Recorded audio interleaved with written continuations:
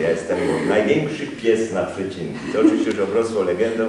W pewnej uczelni warszawskiej kiedyś mnie zapytano w czasie spotkania ze studentami, czy to prawda, że ja Morze Bałtyckie przez Z z kropką wybaczę i który przez U zwykle, ale głupio postawiony przecinek mnie straszliwie irytuje. Oczywiście to było przesadzone, hiperboliczne, ale jak to się dziś modnie mówi, coś jest na rzeczy, coś w tym jest, prawda? Mnie rzeczywiście głupi przecinek bardzo irytuje, tak?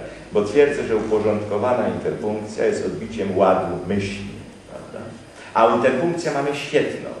My, którzy mamy opinię raczej narodu takiego nieuporządkowanego, kierującego się uczuciem raczej, a nie, a nie racjonalnością, mamy od 1936 roku doskonałe, klarowne zasady interpunkcji oparte na kryterium składnionym. Także powiem koleżance, jak czujesz granicę zdań, to na pewno do